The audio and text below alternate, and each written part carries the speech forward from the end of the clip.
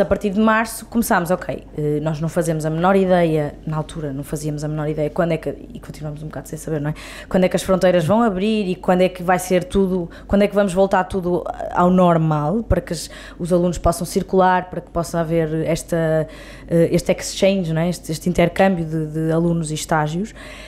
Um, então começámos a trabalhar num produto totalmente online e aí surge o One Gap Career. O que é que nós pensámos?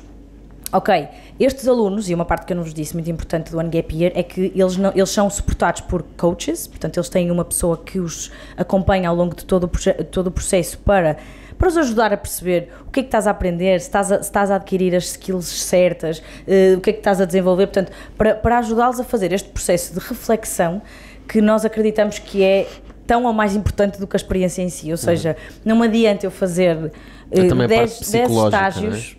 É? 10 estágios, se eu no final de cada estágio, ou até durante, não for pensando, ok, o que é que eu estou a aprender, qual é o impacto que eu estou a fazer.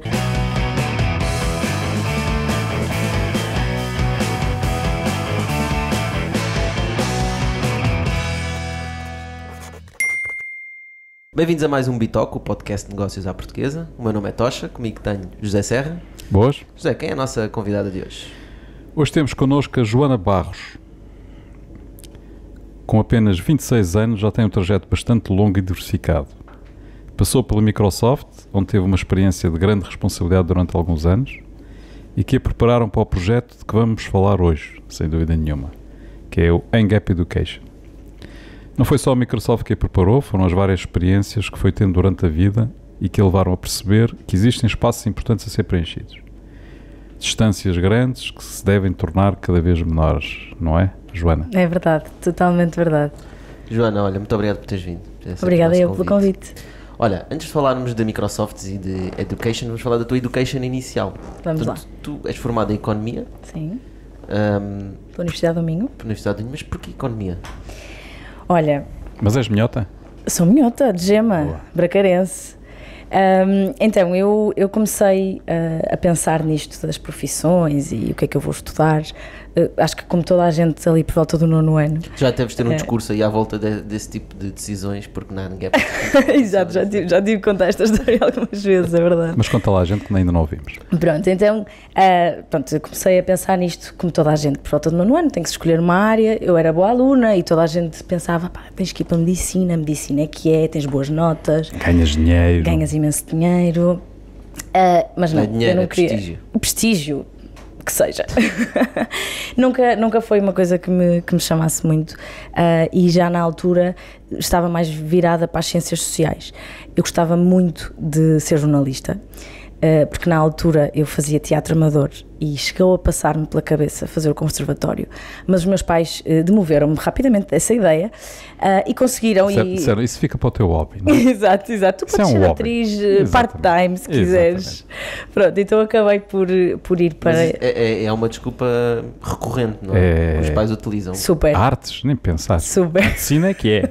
Não, não, é no sentido de. Às vezes nós, quando somos mais jovens, apaixonamos por artes ou por um, assim, uma carreira que é um bocadinho mais complicada, jogadores de futebol, seja o que for. Sim. E normalmente os pais tentam puxar, é pá, vai para uma coisa que. que te dê uma segurança, é muito este o discurso, é verdade. É? E, e, aliás, depois ao longo da vida fui, fui-me sempre debatendo com estas, com estas dicotomias. E mesmo assim tiveste 8 anos a fazer teatro. E mesmo assim mantive-me, exato, a fazer teatro durante 8 anos. Como, quase como o meu desporto, não é? Eu nunca fui uh, desportista federada, era uh, atriz em part-time, não é? Uh, okay. Fazia teatro, teatro amador, certo. que me tirava também algum tempo, ensaios e tudo mais. Mas bom. Um, na altura escolhi ir para Ciências Sociais uh, na, uh, e, e, Económicas uh, porque tinha aquele bichinho do jornalismo e se calhar podia fazer, podia, quando chegasse ao 12 logo se via, se ia para a Economia, para a Gestão ou para Comunicação Social. Entretanto, durante esses anos comecei a perceber que a economia até me interessava mais do que eu achava uh, e acabei por isso por ingressar uh, em, na licenciatura em Economia, mas sempre com aquele bichinho de se calhar depois ainda vou fazer um mestrado em Comunicação Social e vou ser jornalista no, na área económica, porque não? Uh, já tinha lá está aquela segurança de, pelo menos o, o- a licenciatura eu tenho, posso ir fazer outras coisas se me apetecer e logo se vê. Se os meus pais já não me chateiam. Um bocadinho, um bocadinho por aí. Um bocado por aí. Pronto, depois acabei por gostar muito do curso. Ao longo do curso fui mudando um bocadinho também as minhas ideias e, e percebendo que se calhar a área de gestão de empresas também me interessava. Comecei a aprender ah, que havia outros, outras coisas que eu também poderia gostar de fazer e que não era só o jornalismo ou aquela parte mais relacionada com a, a televisão, a apresentação e tudo mais e a representação que eu tinha muito quando era mais, mais miúda. Foi aí que entrou o alpinismo. não. Não. Tam- Também é ismo, mas Também é ismo, mas Ok. não, por acaso albinismo nunca. Pronto, hum, então quando acabei a licenciatura, ah, começou a chegar aquela fase, mais uma vez, uma fase de transição, em que está toda a gente a pensar qual é que é o próximo passo e qual é que é o mestrado que eu me vou, que eu me vou candidatar. E eu não estava nem aí, eu não estava de todo preparada para escolher uma área de especificação, ou seja, uma área de especialidade. Hum, não me sentia preparada para isso e, ainda, e achava ainda mais absurdo ter que pagar eh, um mestrado eh, para fazer uma coisa que eu não sabia se tinha, não tinha certeza que era o que eu queria. E foi então que decidi hum, fazer, eh, ir trabalhar. Portanto, ir, queria parar, fazer quase que um gap year, que foi isso que eu negociei com os meus pais, que não ia fazer o mestrado eh, diretamente, que obviamente era o que eles queriam e foi o que toda a gente, praticamente toda a gente do meu, do meu curso fez, e, hum, e fui trabalhar. Na altura havia algumas opções em cima da mesa e por uma conversa quase que informal com uma amiga minha que trabalhava na Microsoft na altura, hum, acabei por eh, ingressar na Microsoft como estagiária numa- num, num projeto que me interessava muito, porque era ligado ao empreendedorismo. Então eu durante um ano fiquei a gerir hum, o programa Bispark, na altura, hoje em dia já não se chama assim, acho que já nem existe bem, tal como ele era, ah, e era basicamente todo o contacto que a Microsoft Portugal tinha com o tecido empre- empreendedor português, Uh, passava um bocadinho por mim, portanto eu tinha que gerir todas estas relações e, e acabei por conhecer muito mais a fundo o que era o, na altura, em 2014, 2015, o panorama empreendedor português que ainda estava a dar assim os primeiros passos, né? já, já tinha eles pensaram assim: "Pá, essas coisas de empreendedorismo é para putos. Pá, vamos pôr aqui uma, uma uma caloira miúda, 20 anos, eu tinha 20 anos, é a verdade. tratar disto. Mas isso, isso foi depois da Isaac? Isto foi depois da ISEC, sim. Eu fiz. A ISEC foi durante, o meu, durante a minha licenciatura, ah, que, portanto, eu tive dois, três anos, já não me lembro bem, mas tive dois, dois três anos na, na ISEC, onde tive os primeiros contactos com este, com o mundo empresarial, com Sim, ah, porque as é- Mas, vamos- primeiras. mas- mas vamos falar um bocadinho sobre a Isaac, não é? Pois é, que eu ia, para dar o contexto, tu não chegas ao Beast Park assim de repente. Não, não, Eh, não. Portanto, há um contexto por trás. Claro que o que é sim. que é a Isaac? Então, a ISEC é a maior organização internacional eh, de estudantes ah, que entre, t- tem, tem muitos objetivos ligados aos, ao, ao desenvolvimento ahm, Mas tem essencialmente eh, um objetivo de, de incentivar em- liderança, não é? Exatamente. Em é liderança. ensinar e incentivar, ou seja, é muito interessante porque é uma organização de estudantes para estudantes. E nós éramos. Mas porquê é que é tão importante ensinar as pessoas a serem líderes? Porque a liderança não é só eh, a liderança de pessoas, não- nós não temos só que ser líderes de pessoas, nós temos que ser líderes primeiro de nós próprios, de ter estas ferramentas que nos permitam ser bons no nosso, no nosso trabalho, ter, ter este espírito empreendedor de fazer projetos, de ir à procura, de pesquisar. Isto é tudo liderança. Liderança não é só ser líder numa empresa, numa multinacional ou, numa, ou, numa, ou até numa equipa. Ser líder é. hum, Quase liderar as nossas escolhas também. não é? Exatamente, é liderar as nossas escolhas e, e estes, e estas skills de liderança que a ISEC, entre outras organizações, mas a ISEC. uh, um, O que tu estás a dizer é que, no fundo, mais do que tudo, é, é dar motivação às pessoas para serem mais autoconfiantes. Será?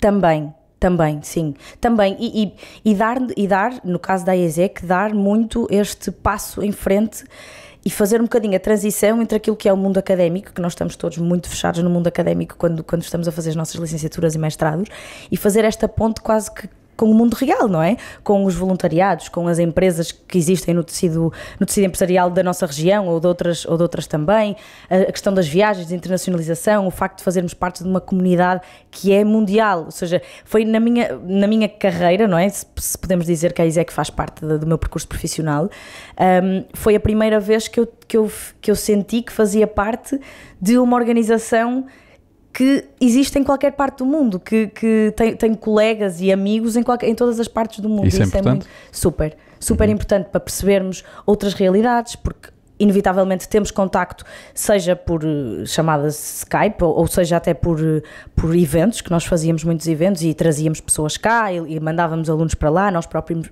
nós próprios viajávamos. Sim, na altura para... não havia Covid, isso era uma das coisas que se fazia muito mais. Era viajar, viajar, fazer voluntariados, fazer experiências. Esse passado.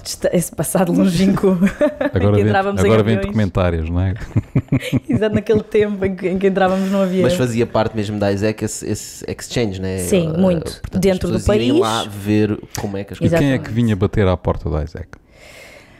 Então, tínhamos do lado dos alunos pessoas que ou queriam fazer parte da organização e, portanto, queriam ser líderes. colaboradores, líderes também, young leaders, que era o que nós chamávamos, um, queriam contribuir para os projetos, ou pessoas também ainda do lado dos estudantes que queriam fazer estágios profissionais ou de voluntariado, no estrangeiro, essencialmente, ou até empresas, porque as empresas viam na IESEC, uh, e no nosso caso na IESEC em Minho, uma porta de entrada para as universidades, sem ser pela via formal de vou contactar os serviços académicos para ir aí fazer uma apresentação. Portanto, usavam o nosso, o nosso canal como canal de comunicação para os, os estudantes, o que para nós também era bom, porque ganhávamos parcerias do lado das, das empresas e, portanto, era win-win. Mas qualquer jovem podia pertencer à IESEC? Sim, sim. Desde há, há um processo... menos que 30 anos? Exatamente, há um processo de recrutamento que eu não sei neste momento eh, em que é que consiste, honestamente, não sei se mudaram os padrões, uh, mas há todo um processo de recrutamento em que nós temos que explicar quais é que são as nossas motivações, uh, qual é que é o nosso background, se é que existe algum background quando nós temos 18 anos, não é? Portanto, uh, Portanto é, é, é, um, é um galinheiro só de galos.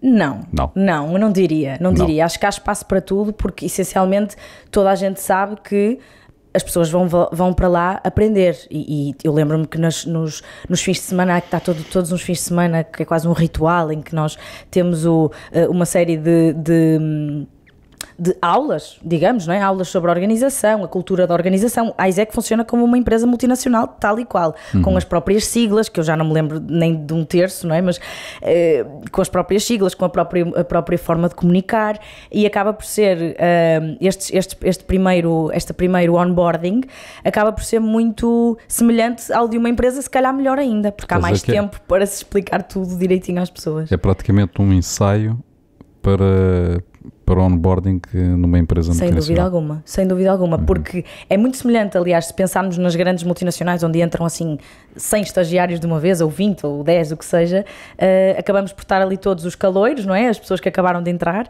e estão a receber formação a todos os níveis porque nós falávamos de um, ehm, organização de tempo organização eh, de eh, financeira, portanto falava-se de uma série de temas que tinham a ver com os estágios, com o voluntariado, com a organização, mas outras coisas que tinham, era unicamente para nos equiparmos a nós, pessoalmente, um, pronto, para, para, para estarmos mais preparados e para a mas, vida. Uh, não haverá aí o risco de, de ser um bocado, uh, criar um, quase que um, uma tipologia de, de trabalho, ou seja, as pessoas acabam por, por ser também mentalizadas e, e, e condicionadas a um certo tipo de organização?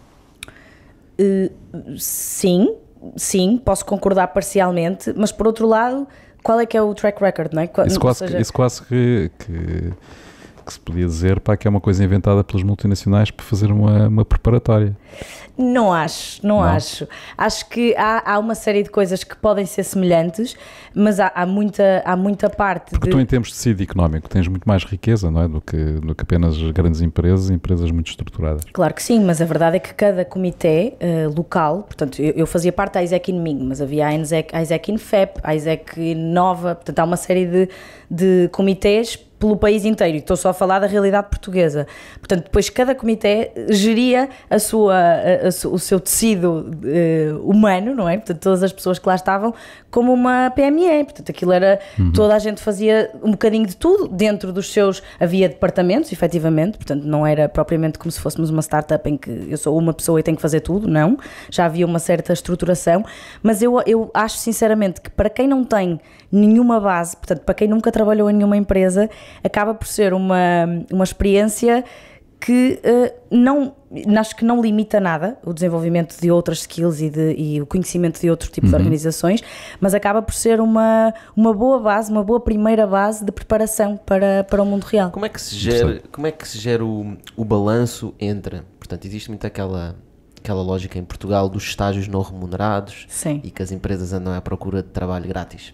Né? Sim. E é, na verdade, a verdade é que há muitas empresas que contratam estagiários atrás de estagiários. Sim, há um grande abuso nesse termo. Sim. Há, há um abuso nessa área, mas por outro lado, eh, todos concordamos que um aluno que acabou de sair de uma universidade, eh, todos concordamos também, isto pode ser um bocadinho polémico, eh, tem que ser ensinado a trabalhar no, no tecido empresarial ou, ou seja o que for. Portanto, como é que se gera este balanço? na- Gostava de saber as vossas opiniões nisto, porque é, é, muito, é uma linha muito tenue sobre o que é que é abusar do sistema e sobre o que é realmente essencial para o, para o Verdade. aluno. Olha, eu não posso falar por mais ninguém, não é? Vou falar, vou falar da minha experiência eh, pessoal. E isto não tem nada a ver com a ISEC, porque já agora na ISEC pagam-se os estágios profissionais. Os voluntariados, como é óbvio, não se pagam, não é? Mas os estágios profissionais são pagos. Mas os são voluntariados são remunerados. em empresas multinacionais ou em- Não, não, são em organização ONGs, não, não. Podia ir fazer um voluntariado para a Amazon. É verdade, é verdade. Pronto. Ah, mas sobre isso, eu por acaso. Para a ah, Amazónia. É isso que eu queria dizer. Eh, Eu, por acaso, sou da opinião de que todo o trabalho deve ser remunerado. Porém, concordo, e, e eu própria senti isso na pele na- quando entrei, eh, neste caso na Microsoft, que não precisava de todo que eu eh, não fosse remunerada, não é? Estamos a falar de uma multinacional. Mas eu lembro-me nos primeiros, eh, nos primeiros dias, nas primeiras semanas, eu o que produzia era eh, nulo, não é? Portanto, eu ainda estava. A, a Microsoft é uma organização gigantesca. Eu só para apanhar eh, tudo o que é a, a- a- dinâmica, a cultura eh, e para começar a produzir alguma coisa, eu acho que se demora para aí um mês. No meu caso, que eu tinha 20 anos, não é? Há, que- E- há quem demora uns anos. Pronto. E eu lembro-me de o primeiro salário que eu recebi, ahm, eu ligar à minha mãe e sentir que nem não é que não merecia, mas é uma sensação estranha receber o primeiro salário, porque eu sentia que estava a aprender tanto, que aquilo estava a ser uma experiência tão enriquecedora para mim, que, que quase que se não recebesse salário eu ia na mesma. Percebem? Não, não é Sim, sim, não sim. é concordando que não se deva pagar Certo. aos estagiários. Agora, eu acho, e não quero ter aqui opiniões polémicas, mas para mim, ah, os. os... Podes ter opiniões polémicas à mesma. Posso? Ok, Podes, então podes. estamos aqui num safe space. Bom. Ahm, os, os estágios do IFP e e aquilo que foi dinamizado pelos estágios do IFP, na minha opinião, foi uma ótima medida, no sentido em que houve muitas pessoas que saí, sa- há muitas pessoas que saem atualmente das licenciaturas e que em vez de estarem a vaguear, ah, a irem tirar mestrados só porque sim, porque não arranjaram emprego e estão a, a trazer mais ca- encargos para os pais, a fazerem uma coisa que se calhar não gostam, ahm, estão efetivamente a entrar e a ter oportunidades de aprender uh, com o salário que é, que obviamente é o salário de um estágio, não, não estamos a falar nada muito, uh, de nenhum valor muito, muito relevante, mas estão a ser pagos e estão a ter estas oportunidades, porque na a minha ótica, e, e isto depois já, já se vai ligar tudo com, a, com o projeto que nós, que nós depois criámos, a minha ótica é que nós só aprendemos efetivamente o que é que é trabalhar quando começamos a trabalhar, porque não há nenhuma licenciatura que, bem, se calhar posso, podemos discutir aqui, se calhar uma medicina, que eles até saem, se calhar, mais bem preparados, porque já têm alguns estágios pelo caminho, mas não há nenhuma licenciatura que nos prepare a sério para o que é que é o mercado de trabalho. Sim, isso é há uma verdade. série de coisas que nós aprendemos along the way e- e está tudo bem, não é? Mas Sim, a é questão é, verdade. tu, eu estou aqui a advogar o outro lado porque acho que é, é importante. Porque, de certa forma, eu concordo com isso, mas as pessoas estão a vir e estão a ser formadas para depois trabalhar na empresa. Portanto, é verdade que a empresa tem que investir alguma coisa, mas as pessoas estão a dedicar o tempo delas, não é? Claro. À empresa. E, portanto, qual é que é a lógica de haver estágios, por exemplo, não remunerados durante seis meses, não é? Como é a análise. Eu Se calhar, se calhar o modelo é que não está não está bem desenhado, não é? Portanto, eu, eu concordo que de facto o- aquilo, aquilo que o IFP faz em termos dos estágios é, é importante. É importante porque permite, eh, permite aos dois lados perceberem com quem é que estão a lidar. Exatamente. Ou seja, permite à empresa integrar alguém não arriscando muito, portanto, no fundo, arriscando o tempo eh, e a formação que tem que dar à pessoa, e permite à pessoa ter a oportunidade de entrar na empresa não tendo nenhum historial ainda de, de CV, não é? Portanto, não tendo nenhuma experiência de trabalho. Exatamente.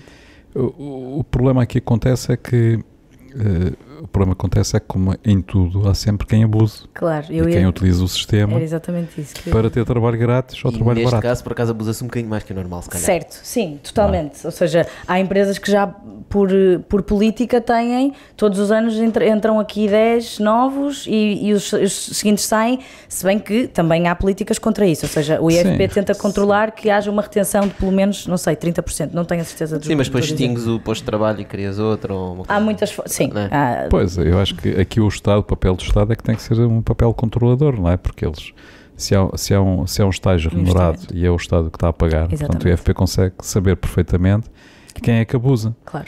Porque se substituem um estágio por um estagiário, não é? Se substituem um estagiário por um estagiário, alguma coisa está a correr mal, não é? Porque Claro. é porque há uma prática, Claro que sim. não é? Sem uma dúvida. prática corrente de usar aquele posto de trabalho para um estagiário. Exatamente.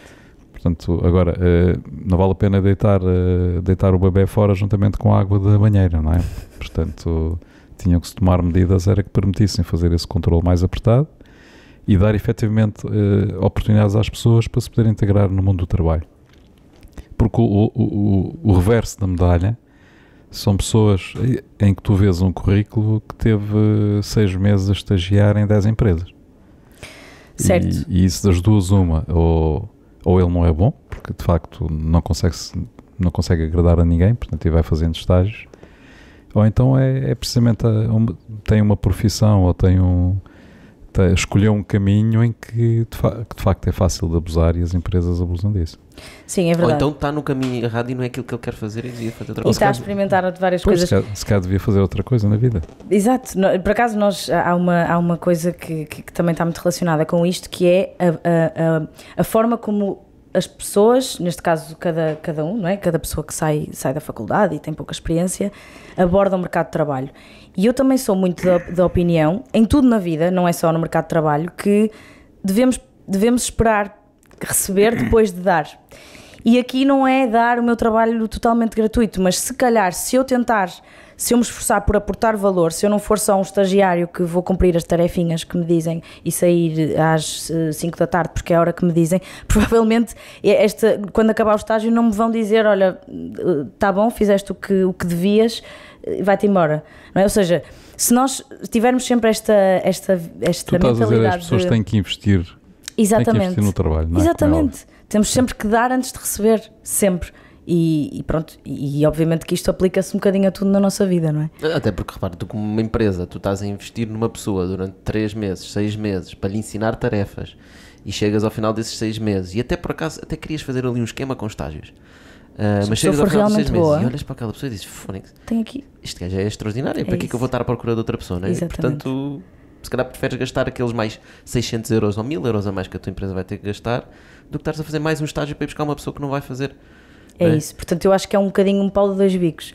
Há, há a, a vertente de, claro que o Estado tem que controlar e garantir que há retenção das pessoas, mas por outro lado, há muito ónus na pessoa que está, que está a entregar o trabalho, não é? Tem que haver o brilho profissional, tem que haver a entrega. Se a pessoa realmente gostar daquilo e quiser ficar com o trabalho, vai se esforçar, de certeza, vai fazer o extra mile. E não estou a falar de fazer horas extras, trabalhar ao fim de semana, nem sequer estou a ir por aí, estou mesmo a dizer Certo, certo, o certo. acrescentar valor, que é Pois. realmente importante, É atitude, sem dúvida. ter atitude. Sem dúvida alguma. Então, e como é que foi a tua atitude no Bispark? Então, tu vieste na Isaac, muito bonito, e depois disseste assim: Ok, então eu agora vou também experimentar. Vou aqui para uma mega multinacional como a Sim. Microsoft, que é uma empresa gigantesca, verdade. onde tu de certeza tiveste, disseste um mês, mas se calhar tiveste mais com um bocadinho mais Muito que um mais, mês completamente. a Então, tentar apanhar a carruagem, não é? sim, sim. Ahm, como é que é entrar numa empresa assim, com essa idade? Olha, eu só tenho coisas boas a dizer da minha experiência. Eu sei que há pessoas que não têm exatamente a mesma, a mesma visão que eu. Eu tive imensa sorte para começar na equipa em que, em que entrei. Uh, estamos a falar de uma equipa super tech, techy, porque eram todos muito virados para o empreendedorismo e, portanto, davam apoio técnico às startups, ajudavam a escalar, tinham muito esta. sabiam imenso, e ainda hoje sabem, não é? Sobre cloud. Eu nem sequer sabia o que é que era uma máquina virtual, ok? Eu, quando entrei, quando caí ali de paraquedas, uh, eu não sabia o que é que era uma máquina virtual e, e, de repente, passado duas semanas, eu ia ter que estar a vender, quase, vender não, porque era oferecer, mas uh, máquinas virtuais às nossas startups e que podiam host as máquinas virtuais deles nos nossos, na nossa cloud. Tudo aquilo era todo um conceito que eu desconhecia na totalidade. Eh, não vos vou dizer que demorei um mês a aprender tudo, como é óbvio, não demorei. Uh, demorei mais, ainda há hoje muitos termos e depois estamos a falar. Epá, não vamos fazer um exame, não te preocupes. Tá Obrigada. uh, há hoje muitos termos que eu desconheço, uh, até porque estamos a falar de, tecnologia, portanto está sempre, está tudo, está sempre tudo desatualizado, não é? O que aprendemos há 5 minutos já está desatualizado. Um, mas acabou por ser uma experiência muito boa, muito enriquecedora. Tive a oportunidade de conhecer a fundo o tecido empresarial, uh, o tecido empreendedor português. Fizemos uma série de eventos, uma série de iniciativas. Eu tinha muito contacto com pessoas e era isso que eu gostava mesmo no meu trabalho. Uh, era este, era, era, era o ponto de contacto, portanto era a mim que eles ligavam quando tinham algum problema, uh, era eu que dava suporte tudo o que não era a parte técnica era eu que lhes dava suporte sobre tudo o que tinha a ver com o programa e as, e as ferramentas que, que, a Microsoft oferecia. Um, e, e, pronto, e, e deu-me a conhecer todo este mundo das venture capitals, dos, dos, dos business angels, todo um mundo que eu que para mim era uma novidade, não é? Portanto, eu não nunca tinha além da startup Braga, com quem eu tinha já alguns contactos uh, próximos, não tinha assim muita muito conhecimento uh, a nível nacional e foi muito bom. Entretanto, um, pronto, este, este, ciclo chegou ao fim, não é? Portanto, eu fiz o meu estágio de IFP e tudo indicava que eu ia fazer o meu mestrado, porque eu tinha prometido aos meus pais na altura que quando, assim que terminasse uh, o meu ano, o meu gap year, em que aprendi imenso e não me arrependo de nada de ter parado e não ter feito diretamente o mestrado, ia fazer o meu mestrado. Uh, entretanto, candidatei-me, entrei no mestrado na Nova em gestão, só que tive uma proposta da Microsoft para ficar, lá está, depois do estágio do IFP. Country tive... Transformation Lead? Não, não. não. Uh, Xbox. Ah, Xbox. Xbox. Sim. Lá está, fizeste o Extra Mile, não é? Exatamente. Pelo Quer dizer, alguém não... lá sentiu que tu fizeste o extra mile porque valia a eu pena. Eu quero acreditar que sim. É? Eu quero acreditar que sim, não é? Portanto, uh, existe. Então foste brincar com o Xbox? Fui brincar com o Xbox e brinquei muito, por acaso. Uh, foi, foram dois anos espetaculares. Eu lá está, acabei por não, não fazer o mestrado porque tinha que, tinha que escolher. Ou ia aprender mais uma profissão, porque fazer gestão de marca, gestão de produto também não era de todo uh, uma, o meu, a minha área de conhecimento. Mas a Microsoft, neste caso, uh, e, e, a Microsoft tem muito esta política de investir em talento. Se eles acharam em algum momento que eu tinha algum potencial, pouco que era, o pouco que eu consegui mostrar em nove meses, investiram em mim, porque efetivamente eu mas, não tinha mas background. Mas porquê Xbox? Repara, estavas no, no B-Spark, que Sim. era ligado a startups. Sim aprendeste uma data de coisas que não sabias, o que, é que era um VC, o que, é que era um business angel, rondas de investimento, sim. e depois dizem assim, agora vens para, para a Xbox, que é uma área completamente diferente. Completamente diferente. Eu aceitei... Como é que a, como é que a Microsoft gera isto? Porquê? Era, foi uma oportunidade Olha, que havia ali e eles viram que tu tinhas o perfil? Uh, também, isso é a primeira, obviamente que as empresas não, não abrem as vagas uh, porque sim, não é? Portanto, naquele momento havia uma, uma oportunidade e eles acharam que eu fazia fit. Por outro lado, havia um grande trabalho que nós tínhamos desenvolvido ao longo, já antes de eu entrar, no, no B-Spark, na, na, na parte do empreendedorismo, com os game developers em Portugal e eu estava muito próxima dessa comunidade de startups de, de startups de game, de game uhum. developing e, eu acho que também teve um bocadinho a ver, ou seja, também abonou a meu favor o facto uhum. de eu já estar muito entrosada no meio, de conhecer as pessoas. A, a, X, a Xbox na altura uh, tinha uma série, tinha, eu acho que ainda tem uma série de programas de desenvolvimento. Uh, que aproxima a, a, a, consola dos game developers em cada país, porque isto também, obviamente, enriquece o, eco, o, ecossistema da consola, etc. Portanto, eu acho que também tive esse, esse ponto a meu favor. Mas foi essencialmente o para mim foi essencialmente o vou aprender outra coisa que nada tem a ver com, com o que eu estou a fazer agora, vou experimentar, porque ainda estava numa de. Sou super nova, na altura tinha 21 anos, o que é que eu tenho a perder, não é? Não vou, Mas o que é que vou... eles queriam que tu fizesses? Então, uh, o que é que eles queriam que eu fizesse? Gerir toda a marca, portanto, eh, desde eh, isto era, era, uma, era uma função muito completa, portanto, desde a parte de produção, portanto, nós temos que fazer as ordens de produção, fazer o forecast de quantas consolas é que vamos vender e para mandarmos à China produzir X para o meu país, X de cada, mais os jogos, portanto, fazer tudo isto com jogos, acessórios e consolas. Isto era a parte mais eh, de business. Sim, na altura ainda se vendia jogos em CDs, não é? Exatamente, tinha que se produzir. Hoje em dia acredito que já não se faça deve, nada disso. E até as próprias consolas, as próprias consolas já estão todas digitais, portanto acredito que, que já não se faça Agora nada. Agora vai tudo à cloud. Exatamente, tudo ao Azure, passa Azure. a publicidade. Um, pronto, eu tinha que fazer toda essa gestão de negócio Em paralelo com a gestão da marca, portanto, tudo o que eram ativações de marca, campanhas promocionais, uh, gerir com os, com os gestores de conta, portanto, nós em Portugal lidamos com o retalho tecnológico, uh, FNACs, Vortens, etc. Uh, e, portanto, tínhamos gestores de conta para essas, para essas marcas e eu era, no fundo, o ponto de contacto para tudo o que tinha a ver com gaming da Microsoft. Além disso, ainda tinha a parte das redes sociais, a parte do PR, que eu acabei por ser, não foi, não foi logo, obviamente, uma transição, mas acabei por ser durante algum tempo a cara se podemos dizer isto, da marca. Portanto, tinha que, sempre que havia um lançamento de um jogo, um lançamento de uma consola, era eu também que dava, que dava a cara. O que para mim como devem imaginar, foi uh, uma, um desafio gigante. Tudo isto foi um desafio. Tu não gigante. jogavas? Não. Eu, não, eu Ainda antes, hoje em dia não jogas? Não, hoje em dia jogo, obviamente, mas an antigamente, antes disto, pá, jogava o básico, não Estás era... antes da Xbox não jogava, mas depois de quando estavas na Xbox tiveste, tinhas, tinhas que jogar. Claro, tinha Aliás, que havia horas, horas no Não, teu horário de trabalho não. que eras obrigado Infeliz- a jogar. Infelizmente Isto não. é daquela quem vende droga não consome. Não, nós tínhamos, eu tinha que jogar, obviamente, e por acaso o meu, o meu manager na altura era um grande fã de FIFA, ainda me tentou evangelizar na- no FIFA ao fim do dia, bora ali jogar um FIFA, Pá, mas para FIFA Mas- para mim Mas, não tu, dava. mas então tu não te envolvias mesmo no jogo, ali não era tanto jo- os jogos não, em si, todo. Era a marca podia estar a vender, eu podia estar a vender outra coisa, outra coisa qualquer. Simplesmente aqu- aqui tínhamos que ter atenção era o que é que o público quer ouvir, qual é que é, eh, o que é que o nosso target quer, o que é que eles pretendem. Mas aí já Eh, tinhas fugido um bocadinho das startups de gaming? Eh, Portugal? sim, sim, obviamente que manti- mantinha sempre Sim, alguma que era mais relação. gestão de produto, não é? Que era mais gestão de produto, sim. Mas eu, eu queria perguntar um bocadinho, por curiosidade mesmo Claro. minha, que é, existem startups de jogos em Portugal? Saíram Existem. daqui coisas interessantes? Saíram, Se saíram. sim, e quais são os desafios? Hoje em dia ainda podem sair e quais são os desafios? Ui, Tens assim eu já, ideia? não tenho, eu já não tenho contacto com esse mundo já há algum tempo, eh, do gaming especificamente. Ahm, há alguns prémios que, que, que acontecem, eu acho que todos os anos, e aqui não vou dizer o nome da marca, não é? Porque não tenho qualquer afinidade eh, à, à marca concorrente, mas obviamente que, que também que há aqui uma série de. Estamos a falar da Sony. ninguém- obviamente. A Playstation, sim. ok, ninguém ouviu. Cada vez há A mais. já. PlayStation, a PlayStation tem aqui um, um, um, um papel importante na- ainda na dinamização, porque obviamente em termos de, de investimento de marketing não, há, não tem comparação sequer com, com aquilo que nós tínhamos em, em X- na Xbox. Um, e há ainda uma dinamização no sentido de continuarem a ser produzidos jogos. Entretanto, eu sei que há muitas startups que avançaram para eh, realidade virtual com projetos pequenos, ok? Não estamos a falar de nenhum Call of Duty, nenhum Halo, não estamos a falar assim de, de títulos Ainda. sonantes. Ainda, ainda, mas Isso é uma questão interessante. Uh, tu achas, tu também já tiveste um bocadinho, lidaste com o mundo das startups, achas que hum, a capacidade de sobrevivência nos jogos é menor do que noutros negócios?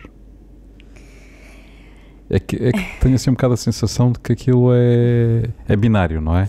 Ou dá ou não dá. Eu acho que é, a sensação que eu tenho é que é muito à base do que estavas a dizer dos concursos. Que é, é a melhor forma de tu cresceres a ir a concursos, né? ires ganhando, porque se tu ganhas hum, investimento. investimento e depois tens forma de aparecer na store de alguma forma, hoje em dia é Exatamente, diferente, sim. porque está tudo online. Sim. Antigamente era todos os CDs e tinhas que aparecer na shelf, Exatamente. que era muito mais caro. Ui, muito mais, muito mais. E portanto hoje existe um bocadinho, acho que parece-me um bocadinho mais fácil. Sim, mas mas calhar- ainda há um bocado de jogo, jogador de calhar Mas futebol. depois, onde é, que- onde é que Se calhar é um bocado monetizas? jogador de futebol, lá a está. questão é essa. Onde é que, em que momento é que começas a monetizar? Porque a maior parte dos jogos que, que vão para as, para as, app, para as eh, Uhum. app stores vão eh, gratuitos, não é? Eh, e, e é difícil, eu acho, não, não tenho, lá está, não quero, não quero entrar muito nesse âmbito porque não é, não é a minha área de conhecimento, mas acho que acaba por ser difícil escolher ou decidir o momento em que tu vais começar a monetizar e vais começar a ganhar dinheiro com isto, porque é aí que há incentivo a, ok, vou continuar a, desenvolver, vou, vou ah, Sim, mas não, nessa área não será do tipo de outras áreas em que 2, 3% dos, dos jogos eh, colhem 90% do, do Sim, dinheiro sim, que é, que é sim. despendido. Sim, e aí depois também depende do dinheiro, o, o investimento de marketing que, Dos estúdios, que os estúdios Pá, têm. se tens estúdios gigantes que lançam um, um jogo novo, investem milhões e aquele jogo é muito Sem mais caro dúvida. do que tudo que Sim, tu tens e depois, lá.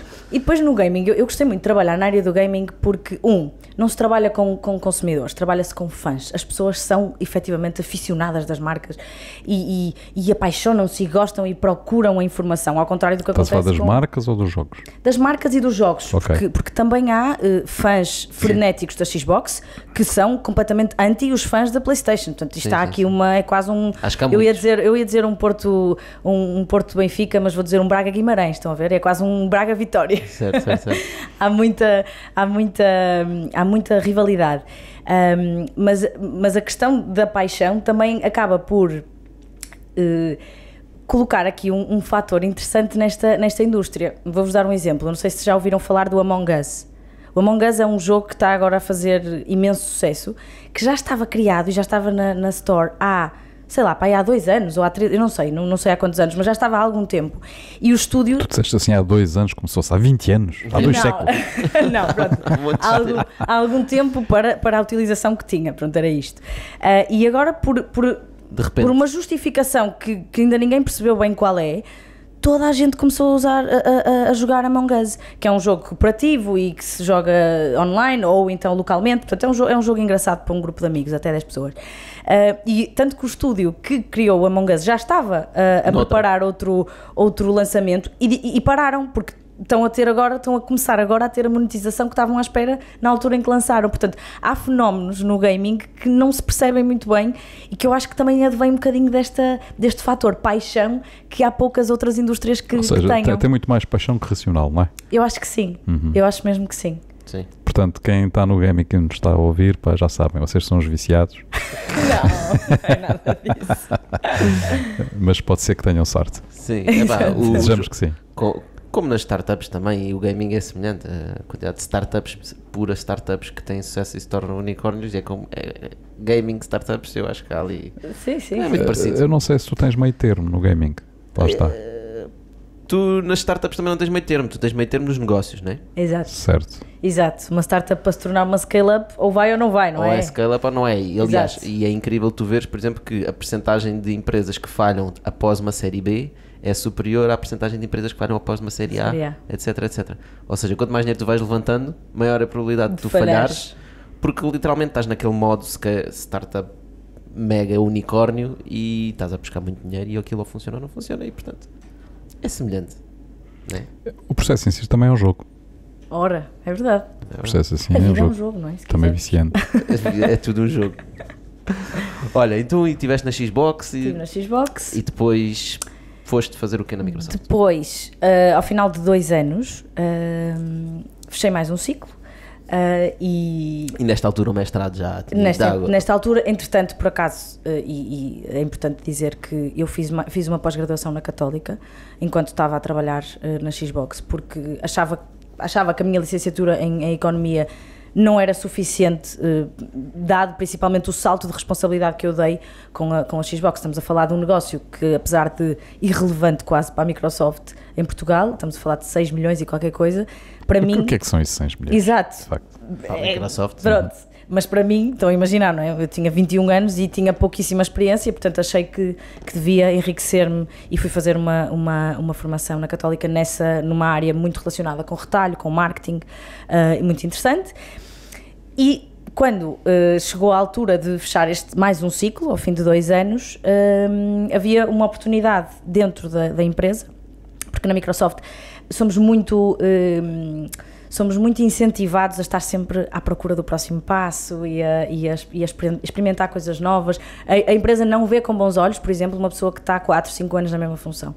Eu diria que 4, 5 anos já é tipo o limite máximo, porque eles têm interesse que nós nos reinventemos, que aprende, aprendemos outras coisas e que vamos acrescentar valor noutras áreas, Sim, porque porque às isso também, tantas. também, também cria motivação, não é? Claro, sem, Sem dúvida. E às tantas, se eu estou há 5 anos a fazer a mesma coisa, a minha motivação para, para fazer diferente vai ser muito baixinha, não é? Ou, me- ou mais baixa do que Certo. se eu estiver numa função nova. Então foi um bocadinho isso que aconteceu. Ah, eu fui desafiada para uma, para uma função ahm, que, que para mim foi também um desafio muito grande. Eu passei a reportar à, à- à diretora-geral da Microsoft a gerir um programa de transformação. Então, a Microsoft, uh, como que é vocês... essa Country Transformation Lead. Exatamente. Country, eh, assim, na Microsoft nós chamamos Muito bonito. é, é, nomes super sonantes. O que é que se fazia lá? Era, eu era uma change manager, basicamente. Foi- Foi fazer, fui fazer gestão de mudança. Basicamente, a Microsoft, há uns anos atrás, desde, desde a entrada do Satya Nadella, mudou eh, radicalmente a forma de trabalhar, a forma de comunicar ahm, e, e- e até a forma de vender. E esse, esse, esse processo de mudança tem, tem vindo a ser gradual. Nessa altura, portanto, estamos a falar em 2017, acho eu, já estou um bocadinho perdida, em 2017, hum, houve efetivamente uma mudança estrutural na forma como, a- como as equipas se organizaram, ou seja, basicamente foi baralhar e voltar a dar. Portanto, equipas totalmente diferentes, funções diferentes, mudaram as job descriptions eh, e, e- e vocês acho que conseguem imaginar que numa organização onde temos pessoas que acabaram de chegar, mas também temos pessoas que já estão lá há imenso tempo, isto faz imensa confusão, não é? Agora de repente eu já não me chamo não sei o quê, a minha função chama-se outra coisa completamente diferente e eu faço outra coisa completamente diferente. Até a forma de avaliar as pessoas mudou. Ou seja, como, como eles estavam, tinham aquele processo de incentivar as pessoas a mudarem de funções de dois em dois anos, mais ou menos, não é? Decidiram, olha, Dizendo, olha, agora vão mudar todos. Acabou. Exato, é? alguém lá em cima a mudar. Temos aqui alguns que não os- querem mudar, vamos mudar todos. Exato. Pronto, acredito que tenha E chamaram-te sido- a ti e disseram, olha, Agora, Fica agora lá exato, agora gere lá isto. Pronto. Mas, mas nessa transformation, tu- o que tu estás a dizer, agora eh, disseste uma coisa que me chamou a atenção, que foi as, as pessoas que chegavam, não é? Porque entram muitas pessoas na claro, Microsoft, sim, sim. vinham, vinham, estavam a chegar para uma cultura completamente diferente daquelas pessoas que lá estavam há algum tempo. sempre que eles não sentiam havia aquela ali um- alteração, não é? Pois, Sim, para eles. É assim, prim- primeiro eh, dizer que a, a- a cultura não se muda, não é porque muda- mandaram lá de cima que a, mu- Certo. a cultura muda, não é? Portanto, Não. uma cultu- cultura de uma empresa demora anos Já a houve quem dissesse que, que a cultura come a estratégia ao pequeno almoço. Exa- Exatamente. É é? um bocado isso. É um Portanto, bocado agora, isso. mas para mim é interessante eh, perceber é eh, qual foi a motivação da- Microsoft, dos dirigentes da Microsoft, em procederem a uma mudança tão radical. Eh, Como, como vos digo, eh, tenho, sim, como vos digo, foi efetivamente esta mudança para ah, um ambiente mais cloud first, mobile first, que entretanto já, já mudou, já não é cloud first, mobile first e já é mais AI first. Eu não quero estar, eh, eu não sei, neste momento já não estou É muito tão Azure, por dentro services, acho eu. e inteligência seja, artificial, ou seja, a é mudança. É por vibes. Não é, é, vibes, por, é, o- é por estra- é é por estratégia. Eu acho que seja, é o Windows, o Windows deixou de ser o que. Aliás, o Windows é gigantesco, não estou a dizer que Sim, é, né? mas sim. deixou de ser aquela A prioridade. a prioridade, não é? Sim. toda a gente tem Windows, pronto, está tá certo. O Windows, ou seja, a dinheiro. Microsoft passou de há muitos anos atrás de ser uma empresa de software que vendia software em caixinhas, não é? que era o que, faz- que se fazia, uma loja de retalho comprava-se uma caixinha do Office E com licenças o, e etc. Exato, e licenças com o Windows, com o, o- sim, o Windows, O também, Windows. o PowerPoint, o Word e passou eh, ra- eh, portanto, tra- eh, consequentemente, ou seja, eh, gradualmente era esta palavra, gradualmente foi-se, foi evoluindo a sua, a sua estratégia e, e a forma como se posiciona no mercado, tanto de consumidor como empresarial, porque tem que se dizer que aqui a Microsoft em Portugal essencialmente é ah, ah, para empresas, portanto é, é um negócio eh, B2B. E, e, portanto a forma de vender também acabou por, acabou por, por mudar. Portanto, hoje em dia, um, uma- um gestor de contas já não tem só que se preocupar com as licenças de Office que vai pôr eh, na, na, na empresa. Tem que se preocupar com esta empresa está a, tra- a trabalhar em soluções cloud. Onde é que eles têm o hosting? Onde é que eles têm a- as suas, as suas aplicações? Têm connosco? Têm eh, na na AWS, portanto há uma série de concorrentes aqui, não muitos, mas Sim. alguns, eh, e, e essa, e, e passa também por aí eh, a estratégia de venda e, portanto, tem que haver uma alteração e uma atualização até da forma como as pessoas são avaliadas e, consequentemente, pagas, não é? Portanto, Sim, isto- sim, que é para ter motivar as pessoas a, a trabalhar no consumo de sentido cloud certo. tem que ser, tem que crescer. Mas a- repara, isso é um exemplo muito interessante em como a tecnologia acaba por determinar eh, uma mudança radical numa empresa gigante. Sem dúvida. Ou Sem seja, dúvida. eh, é tal coisa que se- ou se adaptam ou morrem, não é? Portanto, Totalmente. a tecnologia muda tudo, o contexto alterou e eles tiveram a coragem de fazer uma disrupção em termos organizativos, definindo uma nova estratégia, novas metas, novos métodos de trabalho, Tal e qual. reequacionar e redesenhar as equipas de acordo com isso, etc. não é? Tal e qual. Tal e Isso é qual. fantástico.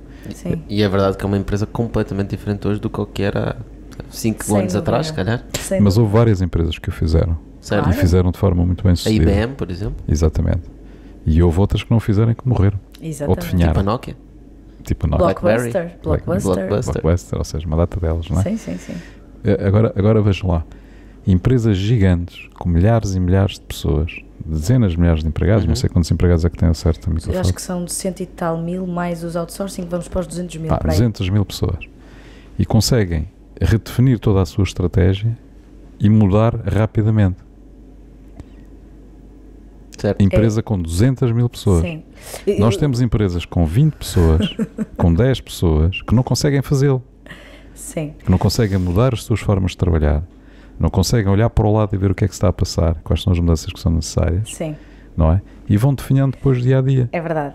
É e verdade. vão-se justificar com os outros. Vão-se justi- justificar para que o mercado está mal, que os clientes já não querem aquilo que eles vendem, que as pessoas são incompetentes, é pá, tudo e um par de botas. Quando na realidade são os líderes que não souberam ver o que é que está a passar e não, não conseguiram Precisamente. redesenhar a empresa, redesenhar a E estratégia e mudar. atenção, eu acho que se, se isto, isto é um processo altamente complexo e que eu acredito que tenha demorado alguns anos, se pensarmos que o Satya Nadella entrou em 2014 e esta mudança aconteceu em 2017 e entretanto houve já várias mudanças Sim, sim. depois disso. A mudança estava a acontecer antes de tu chegares e continua depois de tu teres. Exatamente, portanto, este processo de transformação, nós costumávamos dizer, eu quando entrei para este, para este projeto, eh, eu tinha um timeline mais ou menos de uma, de, uma hora, eu ia dizer uma hora, de um ano, Eh, mas ef- efetivamente o projeto precisou de mais tempo, porque Sim, mas tu tens, tens empresas que são obrigadas a fazê-lo muito mais depressa, não tenhas dúvida. E, por exemplo, neste, neste contexto que nós tivemos eh, de, de pandemia, de Covid, Sim, sim. etc., eh, nós conhecemos empresas que tiveram que mudar em duas semanas. nós também. Não é? A Portanto, minha, e- a minha teve que E tiveram que isso. se reinventar e mudar completamente, Totalmente. completamente a sua abordagem, o negócio, etc. E fizeram. E fizeram. E outros não fizeram. Muitos com sucesso. Exatamente, mas houve outros que não fizeram. E os que não fizeram, se calhar têm outro tipo de dificuldades, não é? Muito maiores. Claro, claro que calhar vão desaparecer, não é? claro que Muitas vão desaparecer, também não há dúvidas sobre isso. Portanto, esta capacidade de eh, ler o que é que está a passar e reagir, mesmo errando, não é? Porque quando a gente reage, ainda não temos a visão toda. É claro que o- a gente sabe o resultado é depois do jogo, não é? Portanto, Sim, mas eh, no momento temos que reagir e temos que transformar e temos Sim. que fazer, fazer acontecer. sim, E depois ir corrigindo. É melhor isso do que ficar à espera a ver o que é que dá, não é? claro. Não, sem dúvida, sem dúvida alguma. Fica- Acho que fica aqui uma coisa. Se uma Microsoft consegue mudar, é pá, Qualquer um pode qualquer mudar. um pode mudar. Ah, sim, E foi também por mudar, e agora gostava de falar um bocadinho sobre a ANGAP, sim. foi por mudar que vocês começaram a olhar o que é que aconteceu na ANGAP. Porque, como é que te inspiraste naquilo? Estavas a fazer Microsoft, empresas de 200 mil pessoas e, e de repente Então, juntas com mais três pessoas, né? que vocês são quatro. somos quatro. Por acaso é engraçado, vocês são quatro CEOs. Sim, somos quatro CEOs, cada um com o seu é, Com o seu é diferente. diferente. não, Ah, não como é que vocês se inspiraram, se juntaram, porquê? Então, hum, pronto, nós começámos este projeto, começámos a pensar este projeto, eu já estava numa fase de transição, mais uma vez, fechar mais um ciclo, portanto, o meu projeto de, de- de transformação dentro da Microsoft já estava a chegar ao fim. Eh, e eu precisava de mudar, apesar de estar super confortável. Estar confortável com 24 anos É é, assustador e é péssimo, eu acho. Para mim era péssimo. E portanto, estava na altura de fazer outra coisa. Ah, e comecei em, em conversas, mais uma vez, conversas quase que inform- informais, sim, totalmente informais com, com algumas pessoas, nomeadamente os que são atualmente meus sócios, Que é o Miguel, o Milton e a Marta. e a Marta, exatamente. Ahm, e fizemos essa. e começámos a conversar sobre. Eh, sem qualquer ideia, sem qualquer objetivo de vamos montar uma empresa, não era de todo isso, mas começámos a falar sobre esta questão da educação e o quão a educação está desajustada ahm, ao mercado de trabalho, aos alunos. Uh, nós, todos nós, de uma forma ou de outra, uh, obviamente que o Milton e o Miguel, um bocadinho mais do que nós, porque têm mais experiência, tivemos em algum momento que recrutar. Eu própria, quando estava na Xbox, e, e não só, tive que recrutar, uh, no meu caso, para estagiários. E, e sente-se Remunerados. remunerados, sempre remunerados. E sentíamos imenso que há, há uma falta de, há falta de preparação por parte dos alunos. E começámos a pensar o que é que seria, quais é que seriam estas pontes que são precisas criar para ajudar as pessoas a começarem a sua carreira de uma forma mais ágil. Um, e pronto, e foi um bocadinho por aí que começámos a pensar no- em, em alguns produtos separados primeiro e depois então consolidámos tudo com a criação da Ungap Education. Um, Eh, Explica lá esse processo de, de começaram com produtos Ok. diferentes. Ok, então, eh, nós então, partindo desta necessidade dos alunos, e, e- nesta altura ainda estávamos muito focados nos recém-graduados, interessante, estávamos a falar sobre isto há bocado, estávamos focados no- nos recém-graduados e, ahm, e na, sua, na dificuldade que muitas pessoas, não todas, obviamente, mas que muitas pessoas têm em iniciar uma carreira sem irem seguir o rebanho, sem, sem fazerem o que toda a gente é expectada, eh, ou que toda, o que é expectável, que seria eh, ir para um Big Four, não é? Porque as próprias empresas, eh, as próprias universidades incentivam muito a que isso aconteça, tipo, vai para a Deloitte, vai para Uma consultora grande. vai para uma consultora, para uma auditora Que vais e- aprender a trabalhar. e vais aprender a trabalhar e lá é uma grande escola. E tudo bem, há pessoas que o fazem e que, e que gostam muitas vezes que, é, sim. e muitas, exatamente, e é. Mas se calhar isso não é para toda a gente. E porque é que nós temos que eh, utilizar eh, a mesma medida para, para pessoas totalmente diferentes, não é? Há pessoas que têm uma ideia de negócio, há pessoas que querem viajar, há pessoas que querem ir trabalhar para uma startup primeiro, mas parece que não é bem visto por parte de, de- dos professores, por parte até dos pais. Pá, mas se tens uma oportunidade de ir para, para a Deloitte ou para uma Big Four, porquê que has de ir para não sei o quê que nunca ninguém ouviu falar? Pronto, e então nós começámos a, a- a trabalhar um bocadinho, a maturar esta ideia e criámos o nosso primeiro produto que, era, que é o One Gap Year.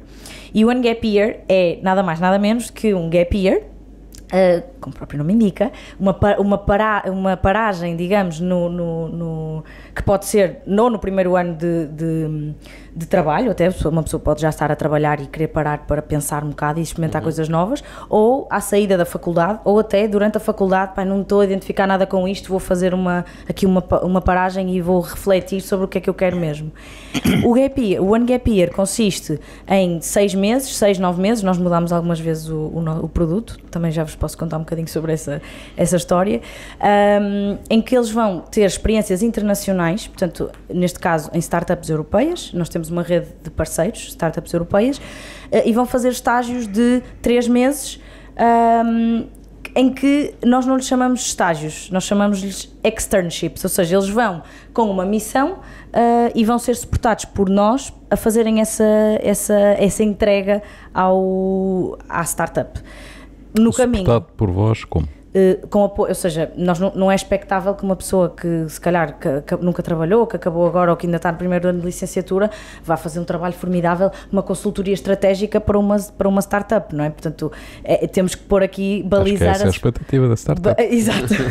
temos que balizar as expectativas e, portanto, também temos nós do nosso lado algum suporte que os ajuda nestes projetos, estás a falar em termos de suporte de conteúdo. Suporte de conteúdo e estes projetos que as startups lhes colocam são coisas que são estruturadas connosco, ou seja, nós sentamos com a startup, definimos o desafio, porque isto é quase como um jogo que eles vão fazer e que, eh, obviamente, tem um interesse para, eh, para a startup, de, de- porque também lhes vão pagar, não é? As startups pagam-lhes, para eles fazerem, entregarem algum trabalho. Mas é, o objetivo é sempre, vais experimentar coisas novas, vais experimentar uma cultura nova, vais viver numa cidade diferente e a ideia é que durante este Ungap Year eles tenham duas ou três experiências diferentes, em áreas diferentes, em indústrias diferentes e de preferência também em funções diferentes, para perceberem um bocadinho o E que é que é. países diferentes? Países diferentes, sim. Eu, eu compreendo o interesse que isso tem para, para as pessoas, não é? Sem dúvida nenhuma. É, é muito rico Sim. poderem experimentar funções diferentes, em, em ambientes diferentes, com equipas diferentes.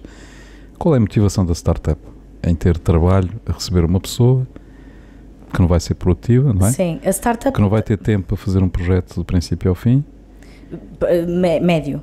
Aí médio, porque por isso é que nós definimos com eles quais é que são os desafios. Não pode ser uma coisa eh, demasiado megalómana, porque depois acaba por ser desmotivante para o aluno, não é que chega lá e não consegue, eu em três meses nunca na vida vou conseguir fazer isto. Tem que ser uma, um projeto bem parametrizado para que em Consegues três dar um meses. exemplo, Joana, só para, para Consigo, olha, percebermos? vou-vos dar um exemplo. Uh, business Development. Business Development era a maior parte dos, dos, dos, dos estágios que nós tínhamos, porque havia muito interesse do lado da startup. Sim, essa é a parte que as startups de facto têm Precisam. interesse. Exatamente. Uh, uma, uma startup que precise de abrir uh, negócio ou de iniciar parcerias uh, numa cidade diferente. Estamos a falar de uma startup que é sediada em Barcelona e quer abrir aqui parcerias em Lisboa. Se calhar, se nós mandarmos para lá um português que fala a língua, que conhece minimamente o mercado, esse- essa pessoa tem como objetivo, ao fim dos três meses, entregar duas novas parcerias. Não estamos a falar de, de um negócio uh, alta, ou seja, de, de, um, de, um, desafio gigantesco. Portanto, estamos a falar de uma coisa, de um projeto que é parametrizado para que eles tenham alguma motivação, porque tem, é desafiante, mas que não seja totalmente inalcançável. E ao fim de três meses, eles têm então que ter duas parcerias fechadas com uh, duas empresas, dois fornecedores, por exemplo, ou dois clientes, potenciais clientes. Portanto, estás a dizer, uh, até no fundo, essa startup, vamos, por, vamos mesmo inventar esse exemplo, essa uhum. startup espanhola uh, tem um departamento de vendas uhum. que já sabe fazer muito bem em Espanha uhum. e por acaso agora quer começar a vender em Portugal e inclusive mete o departamento de vendas deles a trabalhar em Portugal. Exatamente. E vocês colocam lá uma pessoa que por acaso é portuguesa e que lhes vai dar a ajuda, vai perceber com eles, vai aprender como é que eles vendem e como é que é a cultura deles. É? Exatamente. Ao mesmo tempo vai dar os seus, os seus two cents, como se costuma Exatamente. dizer, porque é português e conhece a área, pá, e no final sai de lá e diz assim, pá, eu ajudei esta equipa e estive nesta startup exatamente. e trouxe-lhes mais duas parcerias. E, tem, e, a, e a própria pessoa tem, exatamente tem uma história para contar. O que é que eu tive a fazer aqui? Eu, eu criei este impacto. Tens, Sim, mas depois vais tirá-lo desse contexto. A startup, a startup gostou dele, ele até fez um excelente trabalho e agora vai-se embora vai-se embora, mas, e isso, isso faz parte do nosso, do nosso acordo com a startup, a startup não pode oferecer trabalho à pessoa uh, até ela terminar o nosso programa. Ou seja, porque senão. Uh, Ou seja, a seguir eu posso ir para Berlim, depois vou a Paris e depois no final até dizem assim: olha, anda cá para a Espanha que nós Exatamente, exatamente. Ou seja, se a, mais uma vez, se a pessoa criar até valor... É bom, desculpa, até é bom para a empresa porque ele foi ver outras aprender outras coisas. É? Exatamente. Né? Foi trabalhar noutra indústria, foi trabalhar noutra empresa, porque nós tentamos, a, a ideia é que seja sempre em áreas distintas, portanto, para eles terem mesmo uma noção do que é que... Ou seja, ele pode voltar melhor, até pode voltar estragado. É. Bem, estragado, espero que não, não é? Mas sim, mas... Olha, e qual é que é o modelo de negócio à volta disso? Então, isto são programas que são pagos, portanto, o, o aluno uh, ou uh, tem uma, uma um sponsor, um dos pais dos pais ou de uma empresa, porque nós também trabalhamos na área de B2B uh, eh, e, portanto, há empresas que estão interessadas em pagar estas, uh, estas bolsas, quase que como prémio aos melhores alunos de, de X universidade, portanto, pode ser essa, temos okay. essa vertente B2B. Uh, e temos a vertente privada, digamos assim, não é? De, de consumidor final, uh, que, que eu posso chegar para, lá e, e, e exatamente. Um, e tu falaste também que as startups desses programas também pagam, não é? Pagam, pagam aos alunos, sim. Pagam-lhes um salário, pagam assim. Ou seja, a propina, digamos assim, o valor que eles pagam neste, neste programa é abatido com alguns com os salários, mas ainda assim. Eh, e como é que é alojamento e essas coisas? Chegar a um país novo que eu não conheço? Os alojamentos, pronto. Eh, nós inicialmente. Levas uma tenda? uma carrinha. Depende do quão aventureiro tu és. Exato. Não, nós uh, inicialmente, e, isto é interessante também partilhar, que, que, nós, como é óbvio, fizemos alguns erros na, à medida que fomos criando os, os nossos produtos. Uh, inicialmente nós tínhamos tudo por conta Não, a sério. É verdade. É verdade. Conseguiram cometer É sempre erros. a mesma coisa, toda a gente que nós sentamos não ali naquele sei, sofá diz sempre. Só fazem as neiras. É, pá, começa, pronto. É, é agora que começa Pronto, lá. E o nosso, o nosso primeiro erro foi achar que porque queríamos que a experiência fosse o mais genuína possível. E o que é que é uma experiência genuína? É, se eu vou para o estrangeiro, eu tenho que arranjar o meu próprio alojamento, correto? Desenrasca-te. Desenrasca-te. Só que esta ótica do desenrasca-te não funciona muito bem quando nós estamos a vender uh, um programa que é suposto dar algum suporte. E, portanto, nós acabamos por mudar essa... Um, mudar essa, essa, essa, essa, essa parte do negócio, não é? E acabámos por um, nós incluir esse, esse custo, nós incluirmos esse custo para assim garantirmos que há um espírito de comunidade porque, vamos imaginar, nós neste momento temos uh, duas cidades, três cidades parceiras, Amsterdão, Berlim e Barcelona, e a ideia é eles estarem em comunidade. Num cluster. Exatamente. Uh, se calhar num, num, hostel ou num, num coworking que também tenha quartos, porque também há muito essa, essa modalidade, e eles estão, ficam juntos e, e, vão trabalhar para as respectivas, para as okay. respectivas startups. E no, um, no pós-laboral estão ali exato. a confraternizar. E acaba por, acaba por ser mais fácil para criar este, este espírito de grupo, porém, não é a experiência tão orgânica, não é? Não é aquela coisa do eu vou para o estrangeiro trabalhar e vou ter que me desenvencilhar sozinho, não é? Porque há, há uma rede de suporte maior, mas que eu acho que também acaba por não tirar grande, grande, grande uh, autenticidade à experiência, uhum. Não, não... Interessante. Olha, e planos para o futuro? O que é que, o que, é que a Ungap vai ser? Pronto, Planos para o que- que futuro que que começaram seja. em março, eh, porque entretanto, Veio o como devem imaginar, eh, Covid, viagens, eh, pronto, tivemos que pôr tudo em stand-by. Nós lançámos o, o primeiro piloto em janeiro, as pessoas tiveram que regressar aos seus países de origem, porque Covid. E entretanto acabámos por alguns dos estágios continuaram remotamente, outros eh, as, as startups disseram que não, Esquece, não não dá. queriam, não queriam, e portanto até tivemos uma pessoa a trabalhar connosco, a fazer o estágio do One Gap Year connosco, que correu super bem, entretanto. Um, e nós, a partir de março, começámos, ok, eh, nós não fazemos a menor ideia, na altura não fazíamos a menor ideia quando é que, e continuamos um bocado sem saber, não é? Quando é que as fronteiras vão abrir e quando é que vai ser tudo, quando é que vamos voltar tudo ao normal, para que os alunos possam circular, para que possa haver esta, eh, este exchange, não é? este, este intercâmbio de, de alunos e estágios. Um, então começámos a trabalhar num produto totalmente online e aí surge o One Gap Career. O que é que nós pensámos? Ok, estes alunos, e uma parte que eu não vos disse muito importante do One Gap Year é que eles, não, eles são suportados por coaches, portanto eles têm uma pessoa que os acompanha ao longo de todo o, todo o processo para, para os ajudar a perceber o que é que estás a aprender, se estás a, se estás a adquirir as skills certas, eh, o que é que estás a desenvolver, portanto, para, para ajudá-los a fazer este processo de reflexão que nós acreditamos que é tão ou mais importante do que a experiência em si, ou seja, não me adianta eu fazer É eh, também a 10 parte 10 psicológica, estágios 10 estágios, se eu no final de cada estágio, ou até durante, não for pensando, ok, o que é que eu estou a aprender, qual é o impacto que eu estou a fazer, para contar a história depois, mas também para eu própria perceber o que é que eu gosto, o que é que eu não gosto, eh, onde é que eu realmente consigo am- eh, acrescentar valor. E por isso é que a parte do coaching é tão importante e também uma parte que eu não vos disse que é uma formação que eles têm antes, é, portanto, antes da partida e depois de chegarem do- dos estágios, que é duas semanas, duas, três semanas de cada, em cada momento, em que nós lhes ensinamos um bocadinho quase à la Isaac, agora que nunca tinha feito este paralelismo, mas é um bocadinho, uh, quais é que são, como é, que- como é que funciona a cultura numa startup, o que é que é isto, o que é que são as Beer Fridays e como é que, como é que se faz, uh, sei lá, como é que se gera um conflito dentro de uma empresa, portanto, é um bocadinho, uns, Isso é umas soft início, skills, no exatamente. No fim é, é o, o exercício da reflexão, ou seja, eu debrief. Tu saíste daqui, pá, estavas um bocado perdido, não sabias o que é que querias fazer, eh, nunca tinhas trabalhado, ou se já tinhas trabalhado, mas eras altamente infeliz naquilo que estavas a fazer, e agora que experimentaste duas ou três coisas diferentes, o que é que tu aprendeste sobre ti? O que é que tu gostas mais de fazer? Quem é que tu és? E, e a partir daí desenhar com eles um plano do que é que vai ser a sua estratégia para o futuro. Não estamos a falar de um career plan, porque nós não acreditamos muito em career planning, porque o planning Muda, vai... muda ao fim de seis meses. Exato, o planning vai acontecendo à medida que as coisas vão, vão, vão, eh, vão, Vão aparecendo e vão acontecendo também, mas é o eu gostava de chegar a um determinado ponto, que não tem que ser uma função, pode ser uma inspiração, pode ser uma. é ter quase uma, uma estrela que me, que me- Uma estrela, isto agora parecia. Sim, sim, sim. eh, pronto, uma não, estrela uma que te guia. Star, uma, exato, uma estrela que te guia.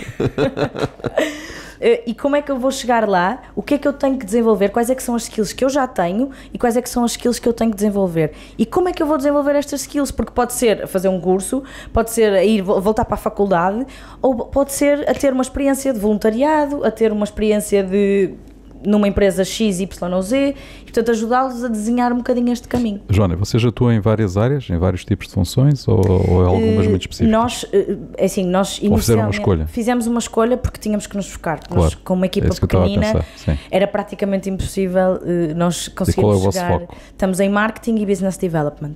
É, são as áreas que nós, Uhum. Sentido. que nós estamos mais, mais focados. E são as áreas, eu diria até mais. Que permitem mais espaço de manobra. não é? Exatamente, que permitem mais espaço de manobra, que as startups precisam de sempre, não é? Certo. Eh, é isso e as tech, tech também, não é? Portanto, o coding e Sim, app sim, development. mas- mas é lá mais está. complicado. É, é mais difícil. Aí não é preciso gap years. Exato, é um bocado por aí. Sim, não falta. Não falta. Há mais a vocação, não é? Há mais o. Eu, eu já estudei isto e, portanto, já sei o que é que quero, não preciso de ir experimentar para, para Olha, fazer. e como é que vocês adquirem alunos? não é? Eu ia dizer clientes, mas não é clientes. Como é que vocês adquirem pessoas para eu, inspirar? eu ainda não. Desculpa só. continua, desculpa, continua. Desculpa, desculpa, continua. Ainda estávamos no One Gap Year e nós agora tivemos que fazer esta mudança para o One Gap Do- Career. do Pronto, Covid, sim. Exatamente. Basicamente, o Ungap Career é pegarmos nesta parte mais, forma, mais educativa que nós tínhamos no nosso programa e, e- e criarmos programas eh, totalmente online. Um, e pronto, e agora vou-te responder também em Que é, conjunto. e isso responde à- à minha questão, certo? Exatamente. Um, inicialmente, nós eh, começámos com eh, o- só a fazer marketing digital, eh, o que foi um, foi um erro gigante, porque nós estávamos a aprender fazendo, o que é bom, mas quando tens recursos limitados é muito complicado, não é? Uh, e, e foi muito- e foi difícil nós chegarmos às pessoas que queríamos. Portanto, nós fizemos uma série de testes, tivemos praticamente um ano a fazer testes e a perceber qual é que, um ano se calhar é demais, foram, foram seis meses, Um, quais, é que são, qual- quais é que são os mercados onde o nosso produto uh, pega mais, portanto, quais é que são, qual é que é a faixa etária, uh, qual, qual é que é o background destas pessoas, portanto, fizemos uma categorização muito profunda de, das pessoas que chegavam até nós, por que canais é que vinham, etc, etc. Portanto, focados muito em marketing digital. Neste momento, eh, curiosamente, sendo o nosso produto totalmente online, eh, nós começámos a abrir portas para, outras, eh, para outro tipo de parcerias locais também, porque nós inicialmente, quando começámos este, este projeto, queríamos, e nascemos globais, não é? Portanto, a nossa comunicação é toda em inglês, os nossos programas são todos em inglês, porque efetivamente não acreditamos que isto seja uma necessidade só do sistema educativo português, Claro. infelizmente. Ahm, mas queríamos, queríamos nascer eh, globais e, e, portanto, descurámos um bocadinho esta parte das parcerias locais e do, e do potencial que isto podia ser, porque apesar de tudo, nós, tendo já alguns contactos cá, acaba por nos permitir fazer uma, eh, ter uma escala diferente no, no nosso país, mesmo estando a comunicar em inglês, porque hoje em dia toda a gente fala inglês, portanto é perfeitamente aceitável Então se vais fazer business isso- development, convém falar inglês. Exato, exatamente. Não, a partir do momento que, eles, que queremos que eles vão para fora, não é? eles têm- Claro. têm, que ter essa, essa ferramenta. Ah, e portanto, neste momento estamos num híbrido entre continuar a testar, e porque nós somos uns amantes de testes, eh, de, de testes AB e testar o insight X e o insight Y e o que é que pica mais e em que mercado é que pica mais e quais é que são as faixas etárias. Ahm, Estão a ficar viciados num jogo. Estamos. Isto é, isto, é quase, isto é quase um vício. Isto é quase um vício no jogo, é verdade. Ah, e em paralelo estamos a fazer também parcerias ah, com algumas empresas, com algumas universidades que também nos permitem chegar ah, a mais pessoas com, com recursos bastante mais reduzidos, digamos assim, não é? Porque temos os Muito bem. o network. Muito interessante o que estou a fazer na Ungap. Ahm, se eu quiser saber mais informações, ungap, angapeducation.com Sim. ungapeducation.com. Muito Sim. bem. Olha, ahm, o tempo passa a correr aqui no Bitalk. Nós falamos eh, coisas super interessantes, passam muito rápido, mas nós temos que ainda ir à frigideira. Ok. Nós temos aqui uma frigideira eh, que tem vários ingredientes que eu vou-te pedir que escolhas um. É um envelope que abres e lês o que está lá dentro. Ok. Ok. Devo ter medo nesta altura. Sim, sim, sim. Tens de estar aterrorizado. Não há hipótese. Ou a batata frita. Portanto, é abrires, podes ler em voz alta e Ok. responder. Qual é o maior conselho que darias para alguém que acabou de sair da faculdade e vai ingressar no mercado de trabalho? Contactem a Ungap Education. ungapeducation.com tá? Boa. Não está, mas ficou registado ficou e portanto de registado, certa ficou forma está. registado. Agora depois tenho que pôr aqui o, O link. Exato. Uh, olha, experimentem. Eu não acho, acho que não há, não há maior conselho que eu possa dar do que ponham a mão na massa, não tenham medo de, de arriscar, de experimentar. Se estão a sair da faculdade, ainda têm toda uma vida pela frente e uma vida de erros, de certeza, não é? Portanto, têm hipótese para fazer coisas diferentes, para errar, para perceberem o que é que gostam, o que é que não gostam, onde é que conseguem acrescentar mais valor. E, portanto, experiências para mim, são a, a- a maior riqueza que nós e a maior aprendizagem que nós conseguimos tirar ahm, depois de, de termos a nossa formação e mesmo durante. Portanto, experimentem muito, testem muitas coisas e reflitam sobre ah, as aprendizagens que vão fazendo. Aqui está um excelente conselho da Joana. É, é difícil dizeres que não gostas de uma coisa que nunca experimentaste. Ora, nem mais, é verdade. Pessoal, muito obrigado a vocês por terem desse lado. Eh, Conversa super interessante aqui com a Joana. Qualquer coisa que tenham, eh, alguém que conheçam que esteja interessado em fazer um Ungap Year, ungapeducation.com e nós estamos cá de volta para a semana. Obrigado. Obrigada. Obrigado. Obrigado.